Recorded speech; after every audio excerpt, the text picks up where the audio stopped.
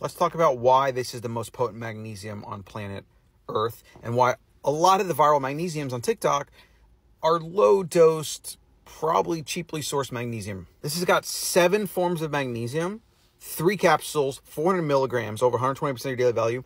But what's important here is each one of these magnesiums has a high percentage of elemental magnesium compared to most other brands. Now, when you look at something that's like a 500 milligram capsule and it says one capsule, a lot of what's in that 500 milligrams is just filler.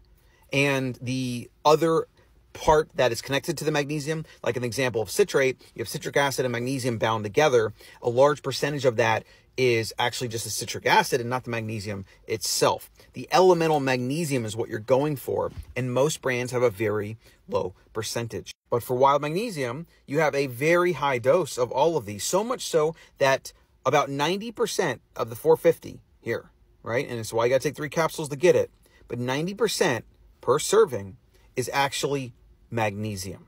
And it's in these different forms that your body needs, different ways to absorb because everybody's different and some forms might be do better for you and for your gut health than others. We'll give you multiple forms, all of which are heavily researched. All the benefits, look at each one, glycinate, biglycinate, carbonate, malate, orotate, taurate, citrate, and then even a whole fulvic blend to help with absorption to make it even more bioavailable.